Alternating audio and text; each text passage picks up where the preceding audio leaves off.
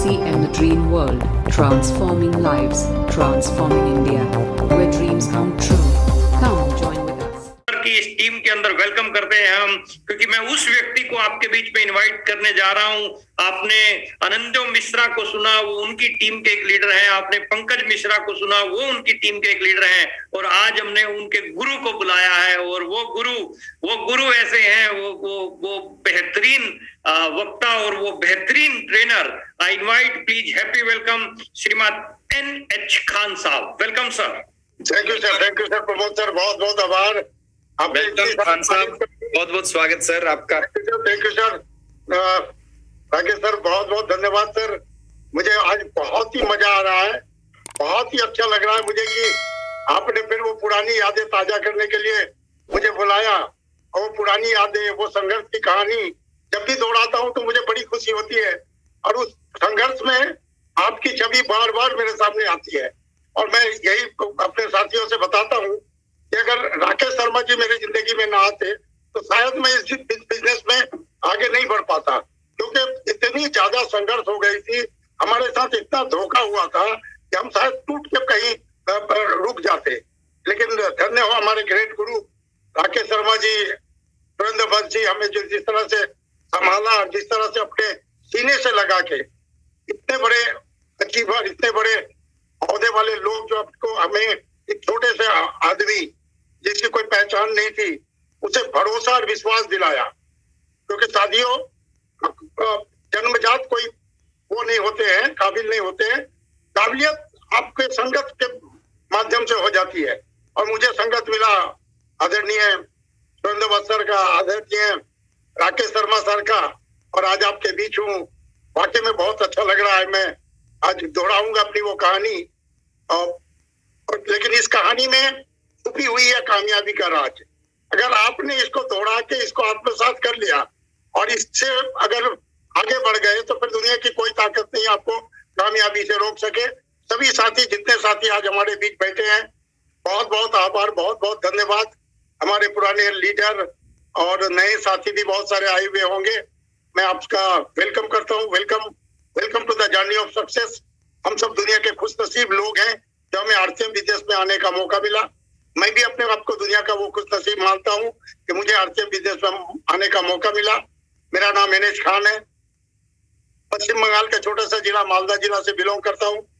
ऐसे से retired railway employee अभी रेलवे से सेवानिवृत्त हो चुका हूँ पिछले चार साल पहले। और आज संपूर्ण रूप से अपने आप को समर्पित कर चुका हूँ इस महान सिस्टम का सेवा करने के लिए। क्योंकि तो ये इतना बड़ा महान काम है कि लोगों को समझ में नहीं आता लोग समझते कि सिर्फ़ एक पैसा कमाने का ज़रिया है, लेकिन साथियों, ऐसा तो इस बिज़नेस का बाई प्रोडक्ट है। लेकिन ये महान काम है। मनुष्य कुल में जन्म लेके आपने आरसीएम अगर कर दिया आरसीएम में कामयाब हो गए तो इससे बड़ा महान काम कुछ नहीं है, क्योंकि आपकी कामयाब होने से उसके पीछे बहुत सारे लोग कामयाब हो जाते हैं। तो कामयाब होने का दूसरा कोई रास्ता भी आज हिंदुस्तान में नज़र नहीं आ रहा है। एक बात रास्ता है आरसीएम बिज़नेस और अभी तो कुछ हुआ ही नहीं है। कुछ भी नहीं हुआ अभी। बड़ी बड़ी कारनामा, बड़ा बड़ा कारनामा आपको देखना बाकी है। रात को सोएँगे, सुबह देखेंगे आप, स्टार रूबी बन गए हैं। ये सिस्टम में वो तरीका आ चुका है, वो प्लानिंग है, लेकिन शर्त एक ही है कि बस डटे रहना है। और मेरी कहानी भी बड़े दर्द, दर्दनाक है।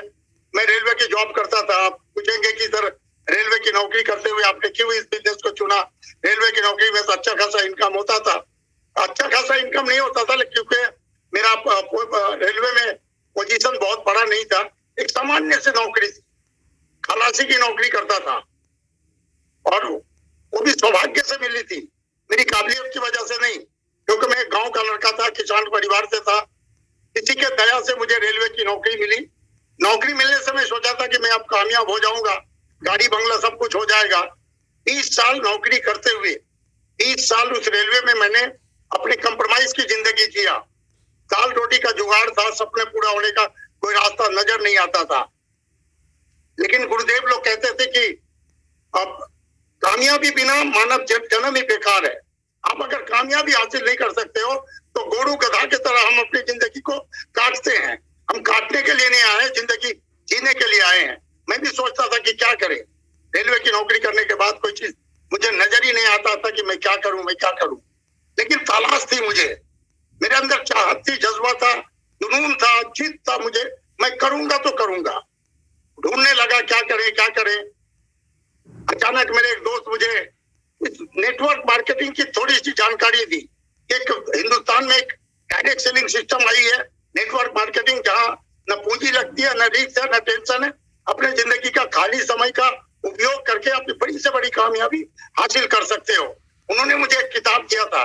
इक्कीसवीं सदी का व्यवसाय मैं उस किताब को पढ़ा था और ढूंढ रहा था कि कहाँ मिले ये नेटवर्क मार्केटिंग मैं खोज में था कि नेटवर्क मार्केटिंग ज्वाइन करना है।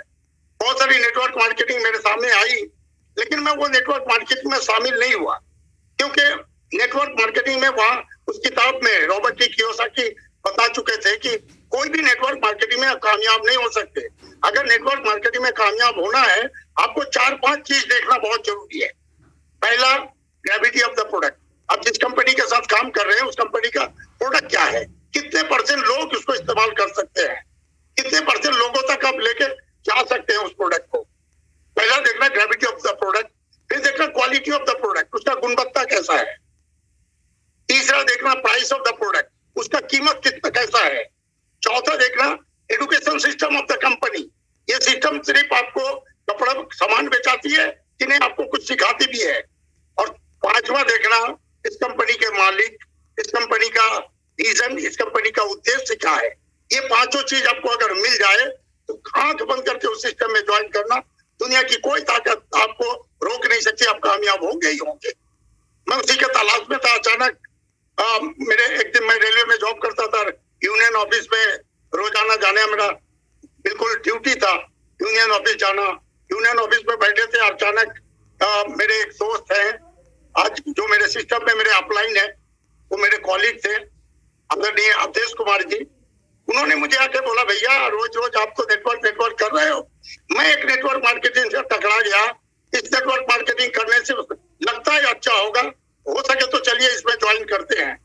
मेरा पहला प्रश्न था उनसे, सर, इसका प्रोडक्ट क्या है? दिल जी ने कहा था, कपड़ा। मैं कहा था, नहीं है कोई लपड़ा ही तो चलेगा।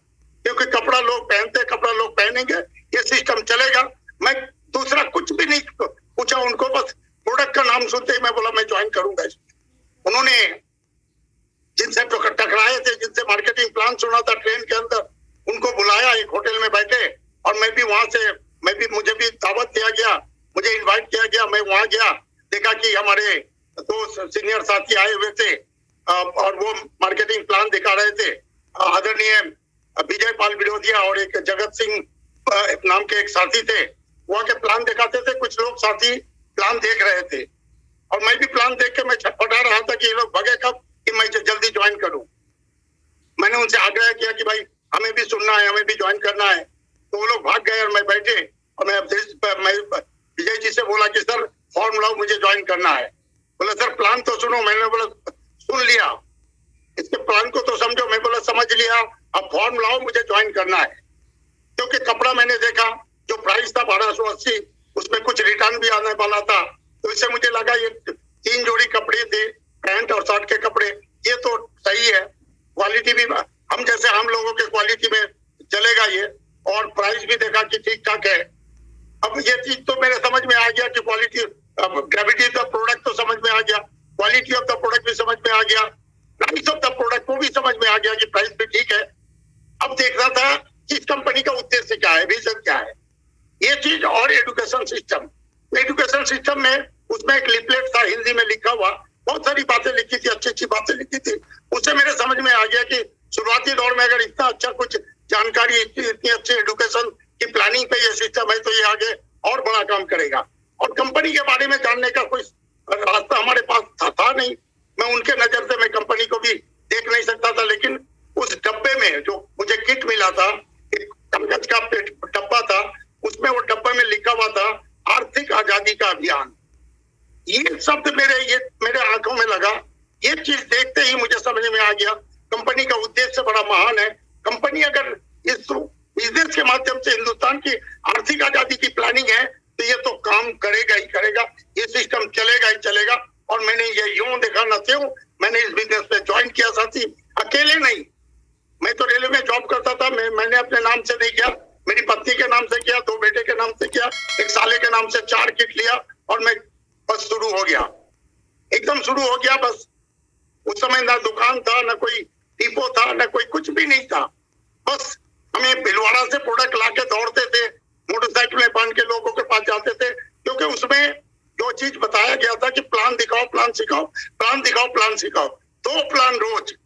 मैंने कसम खा लिया था क्योंकि मैं बड़ा जिद्दी टाइप का आदमी था। और इस बिज़नेस में अगर आपको कामयाब होना साथी तो जिद्दी होना पड़ेगा। जो जुनून दीवान की पागलपन से भरपूर रहना पड़ेगा। कुछ समय बाद, कुछ समय तक उसके बाद तो आप बड़ी हो जाओगे। उसके बाद कुछ करो, ना करो तो ये सिस्टम चलेगा ही चलेगा। मैं इतना जिद्दी था कि मैं कसम खा लिया, रेल की नौकरी को दरकिनार किया, फ़र्स्ट प्रायोरिटी मेरी आरसीएम बिज़नेस हुई और आरसीएम बिज़नेस को लेकर चल पड़ा, कूद पड़ा। पहले में महीने की इनकम आई, पाँच सौ बाईस रुपया की मेरे मेरे समझ में आ गया।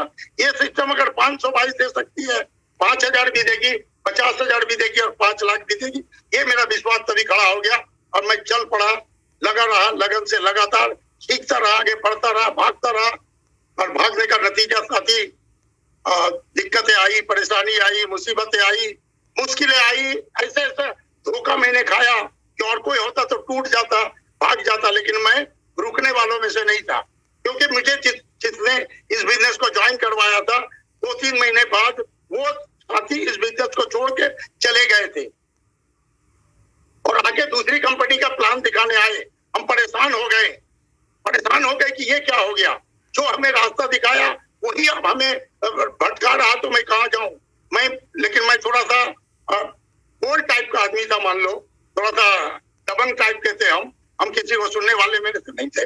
मैंने उनको पहले ही आगाह कर दिया कि गलत कुछ होगा तो छोड़ के छोड़ूँगा नहीं आज। लेकिन उन्होंने गलत नहीं किया, निकल पड़े और वो नहीं आए। फिर दोबारा कुछ दिन काम करने लगे, दो तीन महीना, चार महीना, जबकि थोड़ी दिन जाने के बाद मैंने एक अच्छे मुकाम पे जाने का बिल्कुल पोजीशन बन चुका था। फिर उस समय एक साथी आए और आके फिर दूसरी कंपनी का प्लान लेके आ गए। मैं, मुझे मेरे समझ में आया, मुझे सुनने को आया कि वो आए हुए हैं। मालदा में वो साथी सीनियर साथी, नाम लेना थोड़ा गलत होगा, आप नहीं बताऊँगा मैं। तो वो आए, मैं वहाँ जाके देखा तो वो दूसरी कंपनी का प्लान दिखा रहे हैं। मैं परेशान हो गया। मैं उनसे पूछा कि, सर, आप लोग, हम सबको क्या गधा समझ के रखे हैं? उल्लू समझ रखे हैं? कल बोले आप आके आरसीएम अमोंग द बेस्ट आज बोल रहे हो स्टार अमोंग द बेस्ट कल बोलोगे मून अमोंग द बेस्ट क्योंकि हम लोग तो गधे तो नहीं है? आप लोग हमें गधा बदलते रास्ता भटका रहे हैं, लड़के लोग को बिगाड़ रहे हैं, यहाँ से निकलो, नहीं तो बड़ा गलत हो जाएगा। और वो भागे वहाँ से, और उसी दिन बहुत सारे लोगों को मेरे डाउनलाइन को तोड़ दिया था, उल्टा सीधा जोड़ दिया था। लेकिन मैंने कसम खाया कि मैं छोड़ूँगा नहीं, मैं जिद में अड़ गया और लगातार लगातार काम करता गया, सीखता रहा। उसी समय हमारे बीच आने का मौका मिला मुझे अपने ग्रेट अपलाइन राकेश जी से, राकेश जी भी यहाँ आए मालदा टाउन आए हमें सपोर्ट करने के लिए, और मैं उनसे पूछ लिया कि, सर, आप कब छोड़ के भागोगे? तो राकेश जी मुझे बोला कि, खान साहब, कसम अल्लाह की आपको छोड़ के भागने वाला मैं नहीं हूँ। हम छोड़ने छोड़ के भागने वालों से मैं नहीं है। ज़िंदगी भर आपका साथ निभाऊँगा, और जब तक आप कामयाब ना हो, आपका पीछा नहीं छोड़ूँगा। मुझे उनके बातों से, उनके ललक से, उनके उससे मुझे समझ में आया कि ये सही साथी है और अपने भाई के तरह, अपने दोस्त के तरह उनसे मिले और वो इतनी अच्छी अच्छी बातें बताते थे। मैं बिल्कुल जो जो बात बताते थे हंड्रेड परसेंट में पालन करता था। हमें बताया गया था शुरुआती दौर में कि बस आपको इस बिज़नेस का, इस बिज़नेस का बड़ा बिज़नेस अगर करना है तो आप लोगों का निर्माण करो, लोग बिज़नेस का निर्माण करेंगे। आप अकेले इस बिज़नेस का निर्माण नहीं कर सकते हो। टीम बनाओ ऐसा सशक्त टीम ऐसा जान जाबाज टीम ऐसे जानकार टीम के टीम की निर्माण आपको करनी है। और वो, मैं तो शुरुआती दौर में था, बहुत बड़ा लेवल अपने पास नहीं था, फिर भी मैंने उस पर काम किया टीम बनाने पे काम किया, ऐसे ऐसे लोगों को जोड़ा, लेकिन परेशान हो हो जाता था, इनसे क्या होगा, एक छोटा सा बच्चा, अठारह साल के बच्चे को जोड़ रखा था। आप सब जानते हो ज्ञानिंदा मिश्रा को। एक बूढ़े को जो ज्वाइन कर रखा था, हलवा, चरवा, जो खेती करता था, हलवा हल चलाने वाले आदमी को भी जोड़ा था। परेशान होते थे कि इससे क्या होगा, लेकिन सीनियर कहते थे, कब किसके अंदर क्या ताकत है? आपको क्या पता कब कौन इस बिज़नेस में बड़ी से बड़ी कामयाबी हासिल कर ले? अगर आपने उसको सिखा लिया तो आपको सिखाने पे काम करना पड़ेगा। और मैं उस सिखाने पे काम किया, लगातार लगातार कंटिन्यू मतलब दीवाने की तरह, पागल की तरह मैं भागता रहा, क्योंकि हमें सीनियर ने ये बताया था कि एक जगह में आप बिज़नेस करोगे तो बहुत बड़ा बिज़नेस का निर्माण नहीं हो सकता है, आप अपने बिज़नेस को फैलाओ। वो कैसे फैलेगा? वो भी प्लानिंग वो देते थे। जब आते थे राकेश जी, सुरेंद्र जी बस हमारे मालदा आते थे मीटिंग करने के लिए। मैं उनको दिन में मीटिंग कराता था, फिर डिस्ट्रीब्यूटर ट्रेनिंग कराता था, फिर रात में एलडीपी कराता था, क्योंकि मुझे तो आता ही नहीं था कुछ। मैं क्या सिखाऊं अपने लोगों को? मैं ऐसे गुरुदेव का सानिध्य मिला, उनके माध्यम से अपने टीम को सिखाने का काम किया, और मेरे टीम में ऐसे ऐसे लोग सीख के इस बिज़नेस पे तैयार हो गए कि मैं निश्चित हो गया और उसका नतीजा है कि नौवे महीने में मैं इस बिज़नेस का रॉयल्टी अचीवर बना। जबकि उस समय तक अपने यहाँ कोई दुकान नहीं था, कोई डिपो नहीं था, कोई एजुकेशन सिस्टम बहुत बड़ा नहीं था। फिर भी नौ महीने में इस बिज़नेस का रॉयल्टी अचीवर बना। तेरहवे महीने में टेक्निकल अचीवर बना। आठ साल में सफायर, एक सफायर और एक स्टार रूबी अपने घर में आया। और नीचे बहुत सारे अचीवर तैयार हुए। और पीछे रुकने का नाम नहीं लिया मैंने क्योंकि मुझे पता था कि ये बिज़नेस आगे बहुत बड़ा काम करेगी और मैं अपने आप को समर्पित रूप से काम करने लगा, साथियों। आपको भी अगर इस बिज़नेस में वाकई में बड़ा कुछ करना है तो पहले तो अपना नियत को बिल्कुल पक्का करें। ठान ले, कसम खा ले, समर्पित हो जाए। कांसेप्ट के सिवा क्योंकि इससे बेहतर काम दुनिया में और कुछ है नहीं तो आप करोगे क्या? पार्ट टाइम में इस बिज़नेस को करके आप बड़ी से बड़ी कामयाबी हासिल कर सकते हो। उसके लिए नियत आपका साफ़ होना चाहिए। नियत आपको पक्का करना पड़ेगा। इधर के उधर हो जाए दुनिया, आरसीएम छोड़ के नहीं जाऊँगा तो फिर कामयाबी आपको मिलेगी। और दूसरा, मेहनत इस बिज़नेस में करना पड़ेगा। बिना मेहनत करे कुछ मिलता नहीं है। कुछ लोग सोचते हैं कि दो उल्लू फंसा दे तो मैं बड़ी कामयाबी हासिल कर लूँगा। ऐसा कोई रास्ता नहीं है मेरे साथी। दो उल्लू फंसा के आप, पैसा तो मिल सकता है। पैसा तो मिल जाता है आरसीएम बिज़नेस में दो उल्लू फंसा के। लेकिन हकीकत कामयाबी जिसको कहते हैं? वो अगर आपको हासिल करना है तो मेहनत करना पड़ेगा। आज आरसीएम बिज़नेस जिस मुकाम पे खड़ी है आरसीएम बिज़नेस जिस उस पे खड़ी है कि आज वो मेहनत आपको नहीं करना है। पहले हम सब बहुत मेहनत करना पड़ता था। बहुत दिक्कत, परेशानी झेलनी पड़ती थी। सर पे बोझ उठा के भिलवाड़ा से किट लेके आते थे सर पे उठा के। लेकिन आज आपके सामने आरसीएम बिज़नेस एक अनोखा, एक ऐसा आसान काम बन गया है जिसको आपका अगर अगर सही तरीका से टीम वर्क के साथ अपने काम करें तो ये आसानी से इस बिज़नेस पे बड़ा कुछ कर सकते हैं। सिर्फ़ मेहनत करना पड़ेगा। पहले हमें पाँच साल बताते, हमारे गुरुदेव लोग आते थे। हमें ये बताते थे कि पाँच साल ये बिज़नेस को कर लो। लाखों रुपया पर मंथ आएगा। दस साल ये बिज़नेस कर ले। करोड़पति बन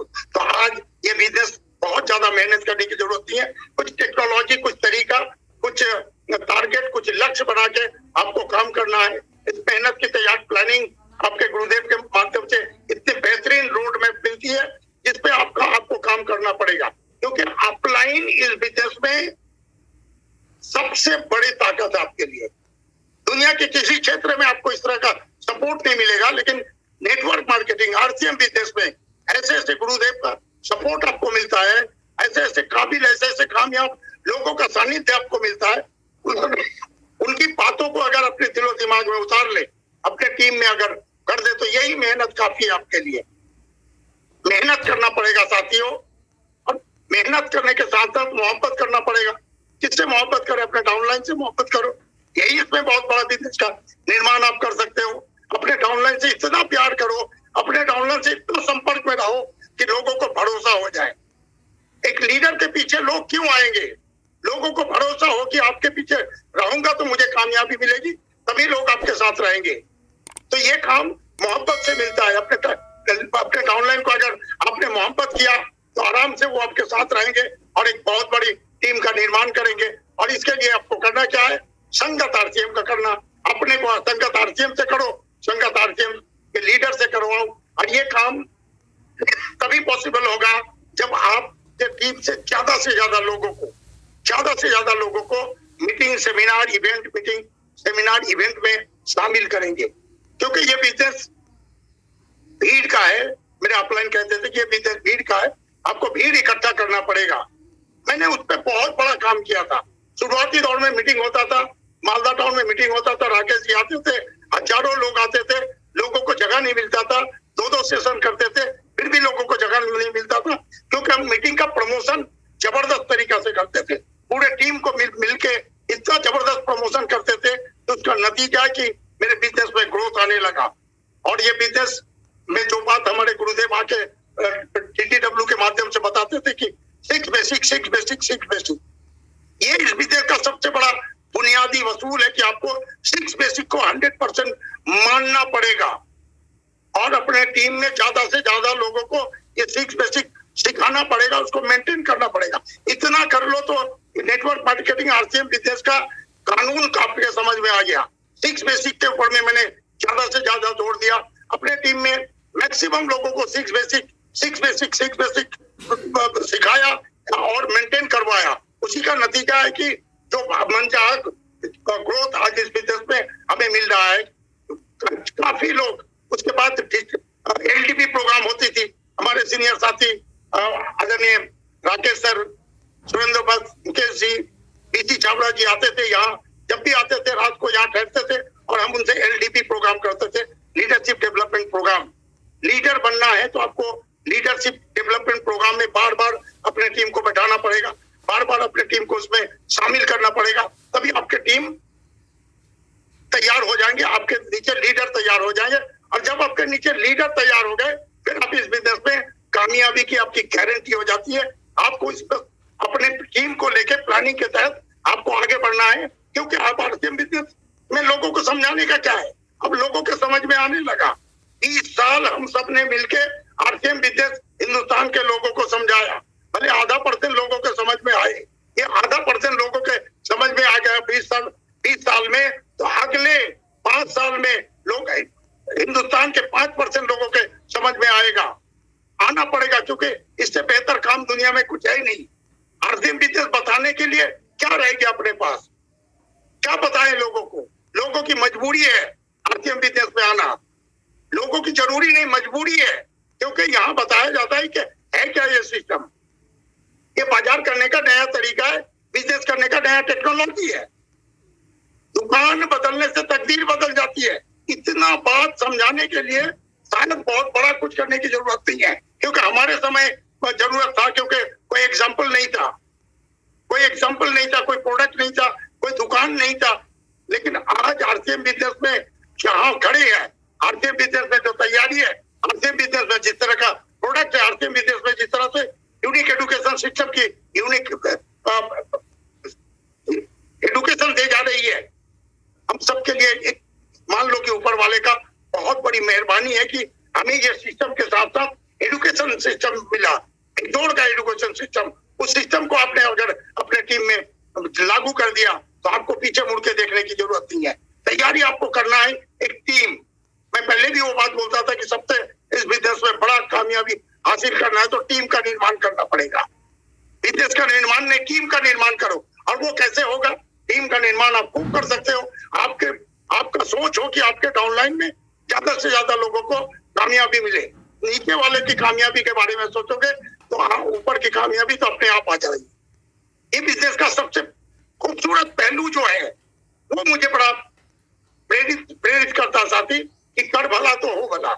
हम लोगों के लिए भला करते हैं, हमारा भला हो जाता है। इससे बेहतर काम दुनिया में कुछ हो ही नहीं सकता। तो आप नीचे वालों के लिए तैयारी करो, नीचे वालों के लिए प्लानिंग करो, नीचे में जाके काम करो, फ़ील्ड में जाके काम करो। आपका फ़ील्ड, ये बिज़नेस में आपको काम अगर करना है तो रोज आना करना है। डेली आपके लाइफ में ऐसा भी कोई दिन ना हो जो आपने आरसीएम का काम ना किया हो। आप पार्ट टाइम करो पार्ट टाइम करो फुल टाइम करो फुल टाइम करो, लेकिन डेली करना है। करना क्या है? फ़ील्ड में जाना है। ज़्यादा ज़्यादा फ़ील्ड में जाओगे, जितना ज़्यादा फ़ील्ड में रहेंगे, उतना बड़ा बिज़नेस होगा। यही सच्चाई है घर बैठे बैठे प्लानिंग करके आप इस बिज़नेस में बड़ी कामयाबी हासिल नहीं कर सकते हो। वो जब एक मुकाम पे पहुँच जाओगे आप star ruby sapphire star sapphire diamond पहुंचोगे, तब ये काम होगा। लेकिन शुरुआती दौर में दोस्त, जब तक आप इस बिज़नेस के बड़ा पिन आपके नहीं है तो आपको मैक्सिमम टाइम फ़ील्ड में देना पड़ेगा आपका बिज़नेस कहाँ है जहाँ से पाँच हज़ार का बिज़नेस आ रहा है वहाँ आपको आपके नॉलेज में होना चाहिए वहाँ आपकी प्लानिंग होनी चाहिए वहाँ आपकी मीटिंग होनी चाहिए वहाँ जिम्मेवार लोगों के लोगों का साथ देना चाहिए वहाँ के लोग जो जिम्मेवार लोग हैं उनसे कांटेक्ट में रहे हर स्टेशन आपके नॉलेज में हो और गुरुदेव जैसे कहते थे कि इस बिज़नेस को एक जगह सिक्योर के मत रखना फैला दो सारे पूरे हिंदुस्तान में तो ये बिज़नेस आप जब फ़ील्ड में जाओगे तो आप फ़ील्ड से पूरे हिंदुस्तान में इस बिज़नेस को निकाल सकते हो क्योंकि हमारा पहचान कोई नहीं था साथ ही मेरी कोई पहचान नहीं थी मालदा के पहाड़ बंगाल में भी मेरी पहचान नहीं थी लेकिन इस सिस्टम की ताकत को देखो सिस्टम में जो बात हमें बताया गया कि आपको अगर six basic eight code step seven कार्डूल rule मानने लग जाते हो तो आपकी टीम पूरे हिंदुस्तान में फैल जाएगी मैंने उस पर काम किया लिस्ट बनाने पे काम किया मेरे टीम को लिस्ट बनवाने में काम किया क्योंकि लिस्ट के माध्यम से आपके जितना बड़ा लिस्ट होगा उतना बड़ा आपका बिज़नेस होगा क्योंकि इस बिज़नेस का रॉ मटेरियल आदमी है और आदमी आपके पास हज़ारों है लाखों है लेकिन आप उसको एकत्रित नहीं कर सकते हो इस सिस्टम के माध्यम से अगर लिस्ट बनाते हो तो लिस्ट के माध्यम से आपके बहुत सारे लोगों की पहचान बन जाएगी आपका टीम जहाँ है वहाँ से दूसरे स्टेट में जाएगा पूरे हिंदुस्तान में जा जाएगा और पूरे हिंदुस्तान में आपका बिज़नेस लेकिन बिज़नेस को आपको लगेगा कि मैं पूरे हिंदुस्तान को कैसे संभालूँगा? मेरी भी कोई काबिलियत नहीं थी कि मैं हिंदुस्तान का बिज़नेस को संभालूं। लेकिन मेरे अपलाइन कहते थे कि सिस्टम संभालेगा। क्या हमारी क्या औकात है? ये करोड़ों का बिज़नेस हो रहा है। तो हम हम कैसे कर लेते? मेरी कोई काबिलियत नहीं थी। गुरुदेवों ने कहा था कि ये यहाँ काम करता है सिस्टम अकेले इस बिज़नेस में हम बड़ा कुछ नहीं कर सकते। अगर हमारे साथ सिस्टम नहीं है तो। और आप भी अगर अपनी टीम को सिस्टम में नहीं नहीं डाला तो फिर आपको दिक्कत, परेशानी होगी। आपके टीम को बिल्कुल सिस्टमेटिक तरीका से लाना पड़ेगा। सिक्स बेसिक आपके टीम में मानने वाले हो गए तो आपका हिंदुस्तान में, पूरे हिंदुस्तान में लिस्ट बनेगा, पूरे हिंदुस्तान में आपका टीम जाएगा वो आपको पूरे हिंदुस्तान में आपका बिज़नेस पहुंचेगा। इसलिए आपको प्लानिंग उस ढंग से करना है कि आपकी टीम जहाँ भी काम कर रही है वहाँ के लोग जो जिम्मेवार लोग हैं, वो लिस्ट बना रहे हैं कि नहीं? वो वो घर बैठे आपको पता नहीं चलेगा, आपको भी फ़ील्ड में जाना पड़ेगा। ये फ़ील्ड का बिज़नेस है। जितने लोग भी आज बड़ी कामयाबी हासिल किया है, मुझे आज पता है, राकेश जी को कहें या सुरेंद्र जी बस को कहें, शुरुआती दौर में सुरेंद्र जी बस जैसे व्यक्ति हमारे मालदा में आते थे चार चार दिन पाँच पाँच दिन रहते थे। गाँव गाँव में घूमते थे गाँव गाँव में गली गली में घूमते थे। दिन दिन भर पड़े रहते थे, बिना खाए पिए हम परेशान हो जाते थे। हमें बिज़नेस का नॉलेज नहीं था। हम कैसे करें, क्या करें? लेकिन गलती पे गलती करते थे। लेकिन तनिक भी हमें नाराज़ नहीं होते थे। हमें अच्छी तरीके से समझाते थे। ऐसे नहीं, ऐसे करेंगे। क्योंकि वो इस बिज़नेस के जानकार लोग थे। वो उनकी जानकारी हम, हमें जब देते थे, मैं एक एक बात को लिख के रखता था और उसको मेंटेन करता था। उन्होंने बताया कि जहाँ से आपका बिज़नेस आता है, पाँच हज़ार का भी बिज़नेस जहाँ से है, वो आपके नॉलेज में होने चाहिए। और वहाँ परमानेंट आपका काम होना चाहिए। मीटिंग सेमिनार मीटिंग ट्रेनिंग लगातार आपको होना पड़े, करना पड़ेगा। तभी बड़ा टीम का निर्माण होगा। क्योंकि शुरुआती दौर में नए लोगों को विजन क्लियर नहीं होती है कि वाकई में हो सकता है कि नहीं हो सकता है। लेकिन आप जब बराबर लगातार वहाँ जाते रहेंगे home meeting welcome meeting home meeting welcome meeting करेंगे तो फिर लोगों के समझ में आ जाएगा, कामयाब लोगों के संगत में आने का लोगों को मौका मिलेगा। आप जैसे लीडर, आप जैसे टेक्निकल अचीवर राइट अचीवर जब फ़ील्ड में जाते हो, दस लोगों को आपको देख के ही समझ में आ जाएगा कि वो कर सकता है तो मैं भी कर सकता हूँ। आपको देख के वो रियलाइज़ करेंगे। आपको देख के वो सक्षम होंगे कि वो कर सकता है तो मैं भी कर सकता हूँ। इसलिए साथियों, ज़्यादा से ज़्यादा फ़ील्ड में रहेंगे, तभी आप बड़े बिज़नेस का निर्माण कर पाएँगे। वहाँ जाके लोगों को आपको विजन दिखाना है, क्योंकि आरसीएम बिज़नेस की अभी जो तैयारी है, आगे की जो तैयारी है, वो सिर्फ़ आम लोगों के नज़र में नहीं आती है। वो चीज़ आपके सामने रखना पड़ेगा। क्या होने वाला है? हम सब सुनते हैं अपने सीनियर लोग से कि ये बिज़नेस आगे क्या तैयारी है, क्या प्लानिंग करने वाली है। पहले शुरुआती दौर में लोगों को बताते थे, लोगों को समझ में नहीं आता था। लोग सुनना नहीं चाहते थे, लोग ना करते थे लोग उल्टा सीधा बातें करते थे, लोग पागल और दीवाना कहते थे। लेकिन हम रुकने वाले में से नहीं था, क्योंकि हमें पता था कि ये, हम इस बिज़नेस के भीषण देख चुके थे। इस बिज़नेस की सच्चाई अपने सामने थी। इसलिए मैं रुकने वाले में नहीं था। लगातार काम करने का नतीजा। आज इस मुकाम पे हूँ और आगे आरसीएम बिज़नेस की जो तैयारी है, आरसीएम बिज़नेस की जो प्लानिंग है, इस पे तो बहुत बड़ा कुछ कर सकते हैं। अगर अपने टीम को लेकर काम कर सकते हैं, मैं बार बार एक ही शब्द करूँगा, दोस्तों टीम आपकी होनी चाहिए।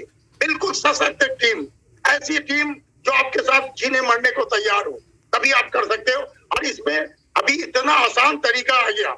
कि हम लोग पहले बिज़नेस करना लाखों का, एक लाख का बिज़नेस करना बड़ा टेढ़ा कीर था। लेकिन एक लाख का कर लिया तो गुरुदेव कहा कि एक करोड़ का हो जाएगा। एक करोड़ का कर लिया तो बोला दस करोड़ का हो जाएगा। अब दस करोड़ का हो गया तो गुरुदेव लोग कह रहे हैं कि सौ करोड़ का भी होगा। और ये होगा। शर्त यही है कि आपको कंटिन्यू अपने टीम के साथ काम करके फ़ील्ड में डटे रहना पड़ेगा। और जो आज तोहफा, जो अपॉर्चुनिटी कंपनी दे रखी है इसमें आपको बड़ा काम करना पड़ेगा। वो अपॉर्चुनिटी क्या है? डायमंड क्लब डायमंड क्लब की संख्या जितना ज़्यादा आपके टीम में ज़्यादा होगा, उतना बड़ा आपका बिज़नेस होगा। डायमंड क्लब बिना आप इस बिज़नेस में बड़ा बिज़नेस बड़ा लक्ष्य, बड़ा पिन की बात सोच भी नहीं सकते हो। क्योंकि डायमंड क्लब एक आसान तरीका इस बिज़नेस में हमारे लिए दिया गया है। हमारे समय ये डायमंड क्लब नहीं था, हमारे समय डिस्प्ले वॉल नहीं था, फिर भी हमने इस बिज़नेस में डटे रखे बड़े से बड़ा काम किया। आज आपके पास ये अपॉर्चुनिटी है, सौगात के रूप में आया है डायमंड क्लब अगर डायमंड क्लब जो साथी नहीं करते तो जान लो, वो आरसीएम नहीं करते, आपको धोखा दे रहे हैं। आरसीएम बिज़नेस करना तो डायमंड क्लब हर हाल में आपको करना पड़ेगा। डायमंड क्लब इतना आसान, मात्र 170 विधि का सामान बेचना है। साथियों तो बिज़नेस करने आए हैं ना। हम तो तमाशा नहीं करना, कर करने आए हम शॉर्टकट में सोच में नहीं है। आप अगर शॉर्टकट में इस बिज़नेस में कामयाब होना चाहते हो तो कोई रास्ता नहीं है। ये बिज़नेस है। ये बिज़नेस का उद्देश्य मतलब है बेचना। बेचना आपको पड़ेगा। बेचना पड़ेगा। बिना बेचे आप इस बिज़नेस में बड़ी कामयाबी किसी भी क्षेत्र में कामयाब नहीं हो सकते हैं। जितने भी बिजनेसमैन नाम के लोग हैं, वो बेचा है, तब आज वो कामयाब है। आपको भी बेचना पड़ेगा।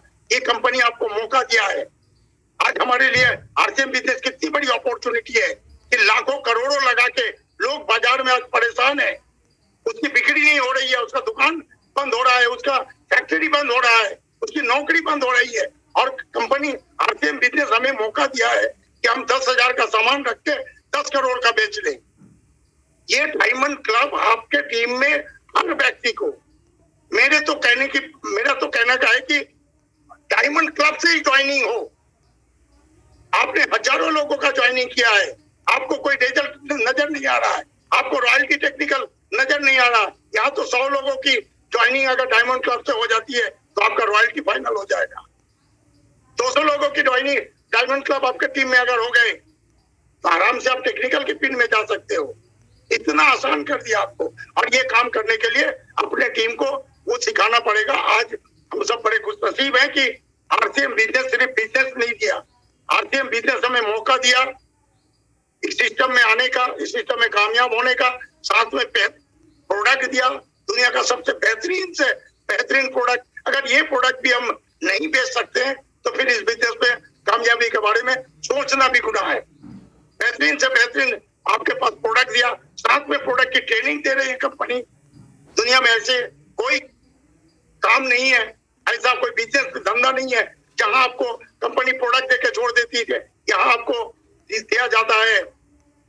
प्रोडक्ट ट्रेनिंग कंपनी रोज रोज, और हमारे सीनियर साथी कोर लीडर रोज़ाना आपको प्रोडक्ट ट्रेनिंग और इस बिज़नेस की जानकारी दे रहे हैं। ज़्यादा से ज़्यादा आपको वो वो अपने टीम में बताना पड़ेगा, सिखाना पड़ेगा। ज़्यादा से ज़्यादा लोग आपको इस प्रोडक्ट ट्रेनिंग में बैठे। प्रोडक्ट ट्रेनिंग ले प्रोडक्ट ट्रेनिंग लेंगे तभी आप बेच बेच पाएँगे। बिना ट्रेनिंग बिना जानकारी का, जानकारी नहीं होता, इसलिए लोग इसको बेच नहीं पाते। मात्र 170 बीबी का सामान बेचना आपके लिए मजबूरी है, करना पड़ेगा। आज आम से आम लोग, मैंने देखा महिलाओं को, दस हज़ार, बीस हज़ार, पच्चीस हज़ार, पचास हज़ार बीबी का भी सामान बेच रही है। ऐसे ऐसे लोग आज है। लेकिन कुछ लोग हैं जिसको नजरअंदाज करते हैं। साथियों डायमंड को नजरअंदाज करेंगे। तो बड़े टीम का निर्माण करना बिल्कुल मुश्किल होगा आपके लिए। टीम को कब तक पकड़ के रखेंगे, ये नहीं है, क्योंकि ये बिज़नेस में लोग आ जाते हैं, जुड़ जाते हैं। और पहली बार प्लान देख के आपको उसको प्रभावित करके हम उसको कुछ सामान देके ज्वाइन करवा देते हैं। सामान जब तक उसके घर में रहता है, तब तक उसको सब समझ में आता है। आरसीएम सामान खत्म होने के बाद, उसको आरसीएम दिमाग से निकल जाता है। क्योंकि एक व्यक्ति को इस बिज़नेस में ज्वाइन करवा के एक बार प्लान दिखा के आप एक्टिव नहीं रख सकते हो।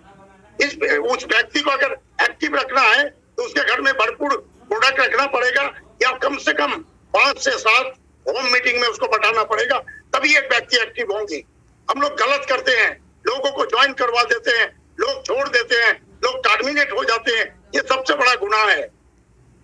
लोगों को ज्वाइन करवाओ तो एक व्यक्ति आपके लिए एक इंडस्ट्री बन सकती है। शर्त यही है कि उस व्यक्ति को आपको सिखा के, उस व्यक्ति का विजन क्लियर करके, उस व्यक्ति को साथ देके सपोर्ट देके वहाँ तक ले जाना पड़ेगा। कम से कम सात मीटिंग उसको सुनाना पड़ेगा, तब वो व्यक्ति एक्टिव होंगे। होम मीटिंग हो वेलकम मीटिंग हो सेमिनार हो जूम मीटिंग हो, कोई भी मीटिंग में कंटिन्यू उसको लेके बैठना पड़ेगा। एक व्यक्ति का अपने निर्माण कर दिया तो आपने करोड़ों का निर्माण कर दिया लेकिन हम लोग करते नहीं है। ज्वाइन करवा के कुछ लोगों को छोड़ देते हैं, इसलिए वो लोग आगे बढ़ नहीं सकते हैं। उसको विजन क्लियर नहीं होता है। वो आरसीएम के बदनाम कर देते हैं। अब बदनाम हम, हमारे वजह से नहीं होता है। हमारे कर्मों के वजह से बदनामी होती है। हम ऐसा कुछ कर देते हैं, लोगों को फंसा देते हैं। तो फंसाने वाला काम नहीं करना है। लोगों को समझाना है कि अब आरसीएम बिज़नेस इस मुकाम पे खड़ी है। अगर आज आरसीएम आपके समझ में नहीं आया तो कल चाह के भी समझ नहीं पाओगे। आज आपने अगर आरसीएम बिज़नेस ज्वाइन नहीं किया, आज आपने अगर ये दुकान नहीं खोला, क्योंकि हमारे सिस्टम में जो सबसे अनोखा तरीका आपको दिया गया है डिस्प्ले वॉल डिस्प्ले वॉल को मैंने सुना था राकेश जी के मीटिंग में डिस्प्ले वॉल की जो इतनी अच्छी तरीके से बयान किया।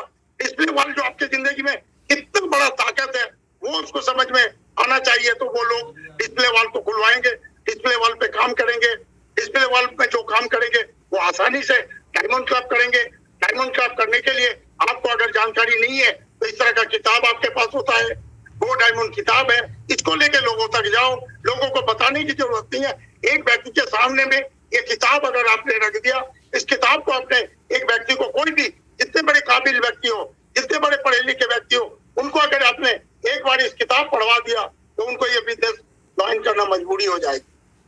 क्योंकि तो इस किताब में वो सच्चाई बताई गई है कि आपको दुकान बदलने से क्या आपकी ज़िंदगी में हो सकती है, ये प्रोडक्ट इस्तेमाल करने से क्या होगा आपकी ज़िंदगी में। इस प्रोडक्ट का अगर परमानेंट ग्राहक बन जाते हो, इस प्रोडक्ट को अगर परमानेंट आप यूज़ करते हो तो आपके घर में बीमार नहीं पड़ेंगे, आपके घर में दवाई की ज़रूरत कम पड़ेगी। आपके, आप जो व्यक्ति आज परेशान है कंप्रोमाइज की ज़िंदगी जी रहा है। आरसीएम का हंड्रेड परसेंट प्रोडक्ट यूज़ करे तो वो बचत होने लगेगी उसके घर में। उसको कंप्रोमाइज की ज़िंदगी नहीं जीनी पड़ेगी। और अगर इस सबको आपने दो लोगों तक पहुँचा दिया, लोगों तक पता, बताने के प्रयास किया आपने क्योंकि तो लोग उल्टा सीधा काम में बहुत दिमाग लगाते हैं। उल्टा सीधा काम में लोग दिमाग लगाते हैं, लेकिन इस काम को आपने समझा दिया कि आप इस पे दिमाग लगाओ तो कामयाबी की गारंटी है तो लोग इस पे दिमाग लगाएँगे। क्योंकि डायमंड क्लब डिस्प्ले वन आसानी से लोग कर सकते हैं, लेकिन चाहिए आपको सपोर्ट आपको भरपूर सपोर्ट उसको देना पड़ेगा। एक व्यक्ति को दुकान खुलवा देंगे और दुकान अगर बंद हो गया तो अभिशाप हो जाएगा आपकी ज़िंदगी में। उस दुकान कैसे चले? उस दुकान में परमानेंट मीटिंग हो, उस दुकान में परमानेंट वीकली मीटिंग हो, ये चीज़ परमानेंट आपको करेंगे, तभी वो दुकान चलेगा। और एक व्यक्ति डेढ़ सौ बीवी दो सौ बीवी का सामान रोज़ाना आसानी से बेच सकते हैं। शुरुआती दौर में लोगों को अटपटा लगता है। शुरुआती दौर में आपका सहयोग चाहिए उसको, आपका सपोर्ट चाहिए। एक व्यक्ति को डायमंड क्लब अपने एक पर करवा देंगे, दोबारा वो खुद करने के लिए तैयार हो जाएँगे। डायमंड क्लब की फ़ायदा उसको नज़र आने लगेगा। तो लोग अवश्य डायमंड क्लब करेंगे। फिर आपको लोगों तक जाके ये चीज़ बताना है, क्योंकि आज साथियों, बड़ा मौका है। आज आज, अभी नहीं तो कभी नहीं। ये शब्द आज सुनाई दे रहा है।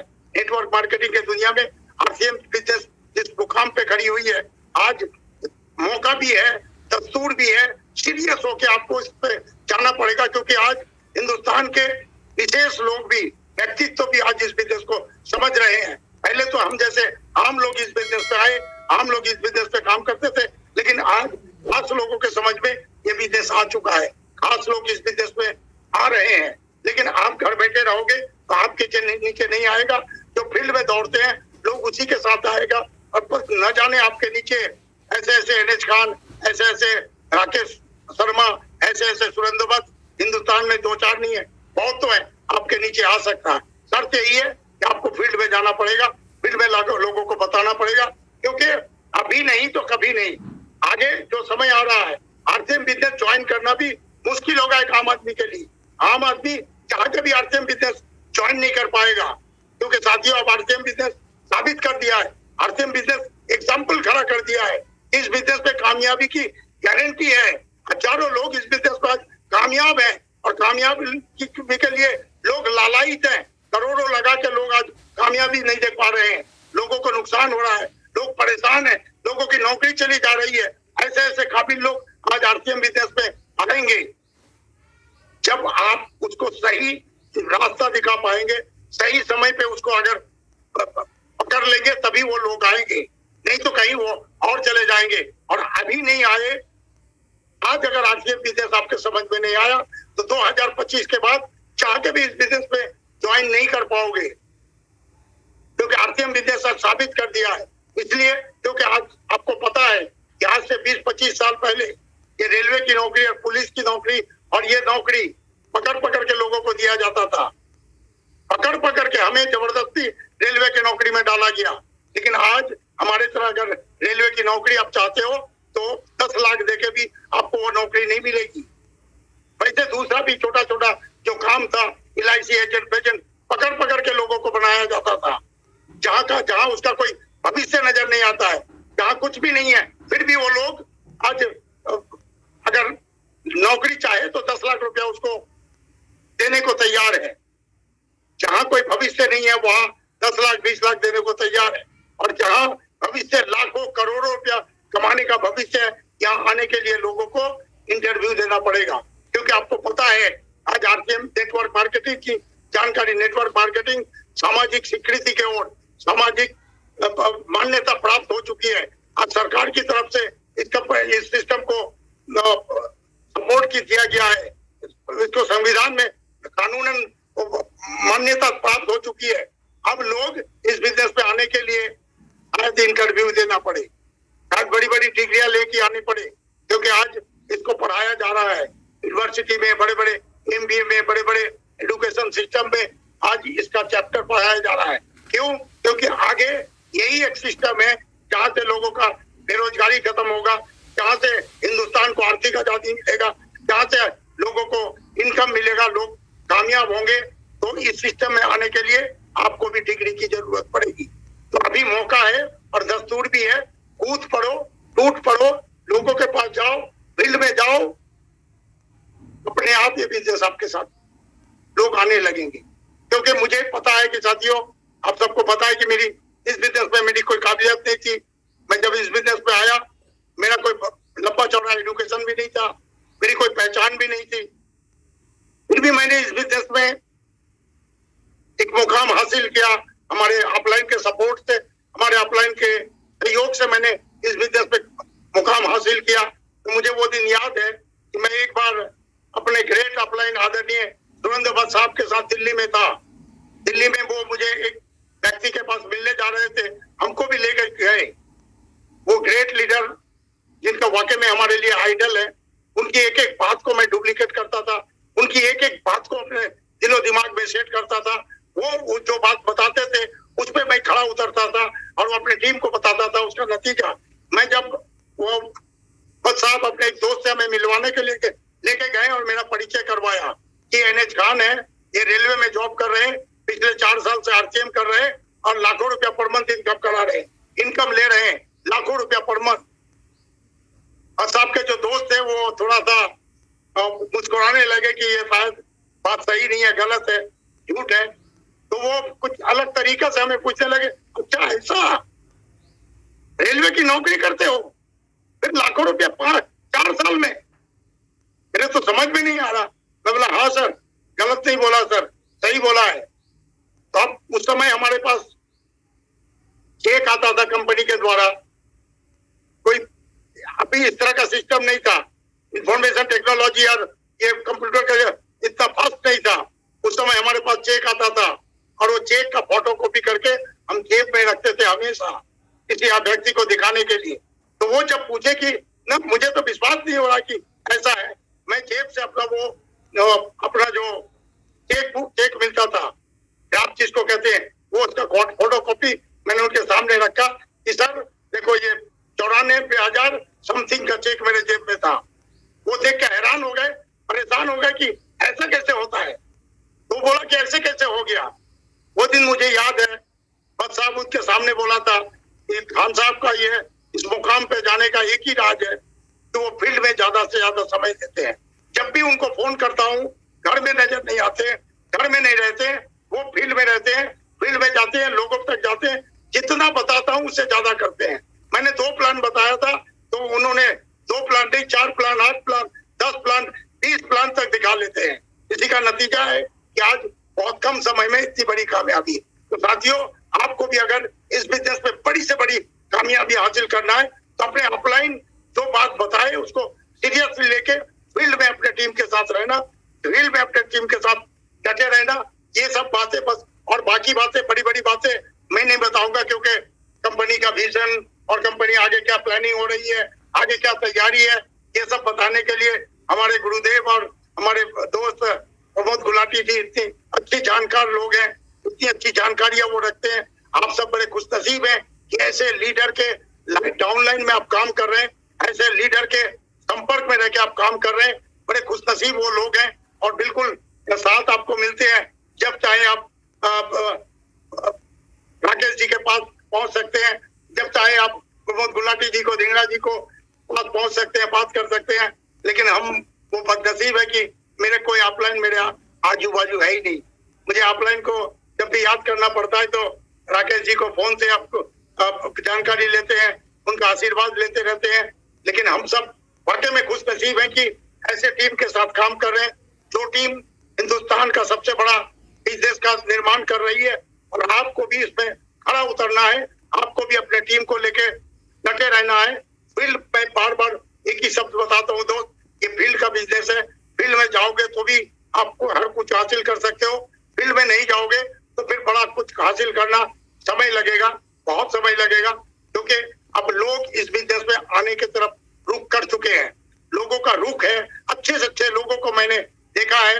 पहले कहते दस लोगों को कहते थे, लोगों के समझ में नहीं आता था। अब दस को कहते हैं तो बारह लोगों के समझ में आ जाता है।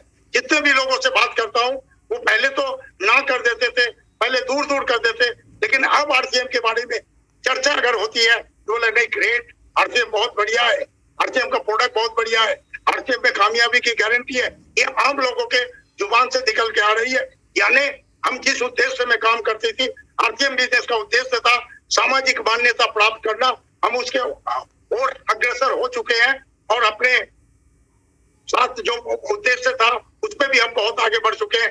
आर्थिक आज़ादी का अभियान, आर्थिक आज़ादी का रास्ता तैयार है, स्वस्थ भारत का निर्माण हमने वादा किया था, हमने लोगों को ऐलान किया था कि स्वस्थ रखेंगे।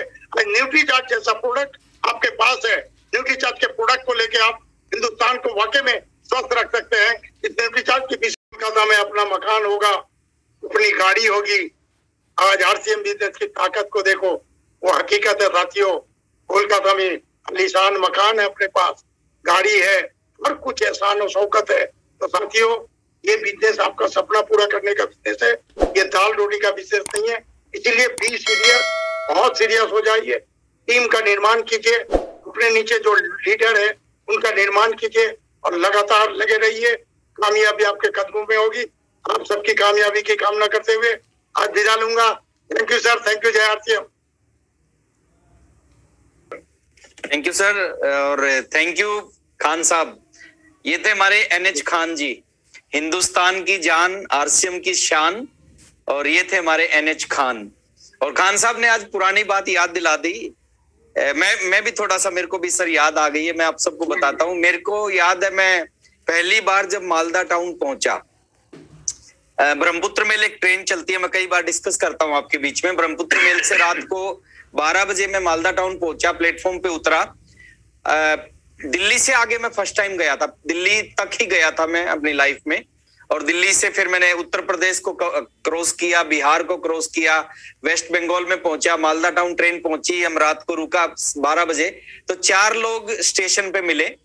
चार में एक निहार रंजन शाह हमारे, एक शानदार लीडर मालदा टाउन से निहार जी थे। आर के सिंह जी, सुजीत जी के चाचा जी आर के सिंह जी थे। अवधेश कुमार सिंह जी जो जिनके थ्रू बिज़नेस की शुरुआत हुई और खान साहब मिले। और खान साहब का पहला ही सवाल था कि जैसे मुलाकात हुई तो अवधेश जी ने कहा ये खान साहब हमारी कभी मुलाकात नहीं हुई थी। आपस में जानते नहीं थे। फ़ोन पे बात हुई थी कि इस ट्रेन से आएँगे इस डेट को पहुँचेंगे। और अवधेश जी ने मिल, मिलवाया कि मैं अवधेश कुमार सिंह हूँ मैंने शुरुआत की यहाँ पे बिज़नेस की।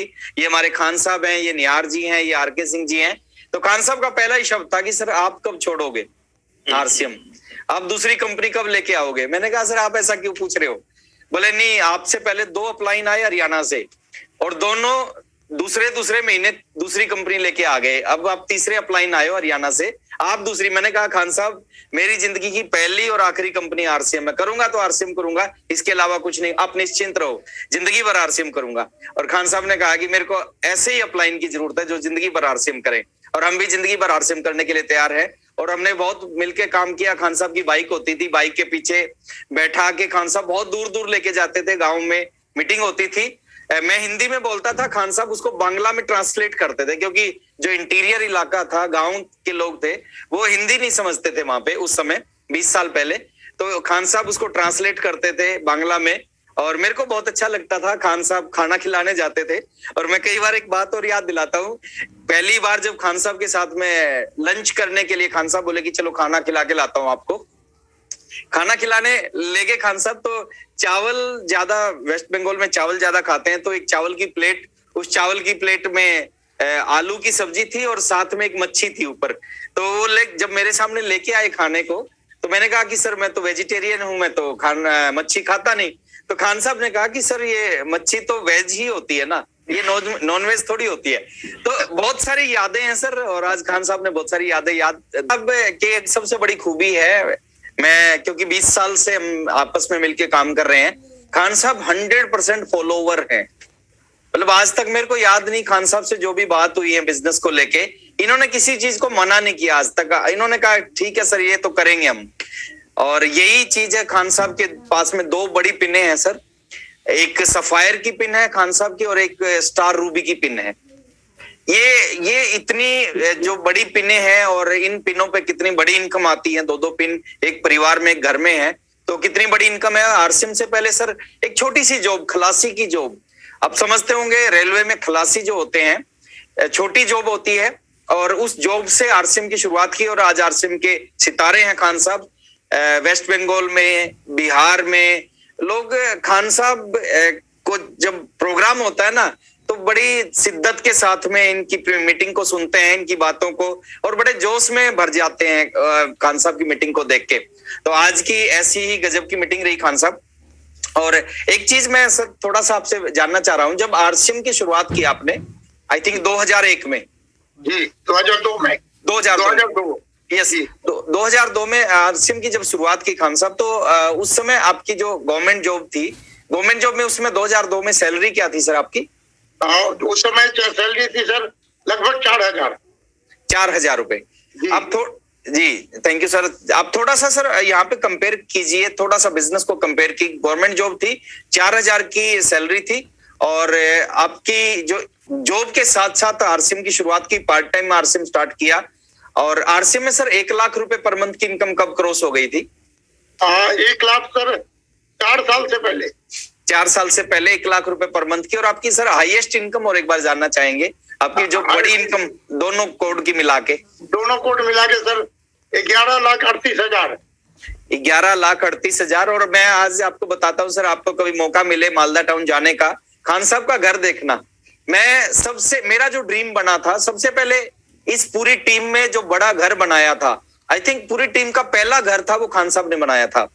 और उस समय भी इन्होंने जो गाड़ी के लिए जो घर में गैरेज बनवाया था उसमें जो गेट था वो रिमोट वाला गेट लगवाया था। ये बात कर रहा हूँ मैं आज से करीबन करीबन 16-17 साल की। सोलह साल सत्रह साल पहले। उस समय कहीं देखने को नहीं मिलता था कि रिमोट से गेट ऊपर उठता है। रिमोट से गेट खुलता है। तो खान साहब का घर आज भी मालदा टाउन का सबसे बड़ा घर है। और एक घर नहीं, खान साहब के पास अब तो कई एक घर हैं, कई एक गाड़ी है और लाइफ बड़ी शानदार। आप सोच के देखें, आप क्या है, उससे कोई फ़र्क नहीं पड़ता। फ़र्क पड़ता आप कहाँ जाना चाहते हैं, आप क्या बनना चाहते हैं। वो आग थी, वो ड्रीम थे, वो सपने थे खान साहब के अंदर में। अपॉर्चुनिटी मिली, इसके अंदर जी जान लगा के काम किया। बाइक होती थी, मेरे को आज भी याद है, खान साहब के पास एक पुरानी बाइक होती थी। उस बाइक पे हम गाँव गाँव में जाके मीटिंग करके आते थे और उस बाइक से सफ़र चालू किया और कई एक गाड़ियाँ खरीदी। और आज आज मैं आपको बताना चाहूँगा, सर, खान साहब के दो बेटे हैं। एक सीबीआई में इंस्पेक्टर है सर और उसमें भी पूरा का पूरा रोल आरसीएम का है. क्योंकि आरसीएम नहीं होता तो उनकी एजुकेशन पे इतना पैसा नहीं लगा पाते. चार हज़ार की जॉब में आप बच्चे की अच्छी एजुकेशन नहीं दिला पाते तो आरसीएम आया, उसकी एजुकेशन पे पैसा लगाया और वो आज सीबीआई में इंस्पेक्टर बन गए। और दूसरे बेटे का भी बहुत बड़ा काम है और खान साहब के पास में ऑलरेडी दो पिने हैं।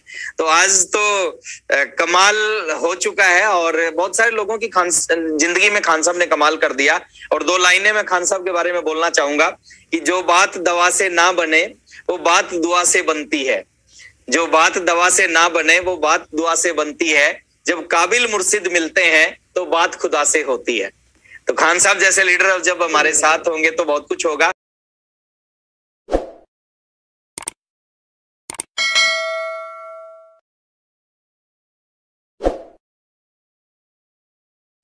डियर व्यूअर्स यह वीडियो आपको कैसी लगी? यदि आपको अच्छा लगा हो तो इसे लाइक ज़रूर करें, साथ ही अपने अन्य मित्रों में इसे शेयर भी करें।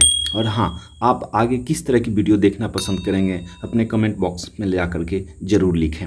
साथ ही साथ, यदि आपने चैनल को अभी तक सब्सक्राइब नहीं किया है तो इसे सब्सक्राइब ज़रूर कर लें, तथा ऑल वाले घंटी के बटन को प्रेस कर लें, ताकि हर अपलोड होने वाली वीडियो की सूचना आप तक सबसे पहले पहुँचे। धन्यवाद। जय RCM Dream World, transforming lives, transforming India, where dreams come true.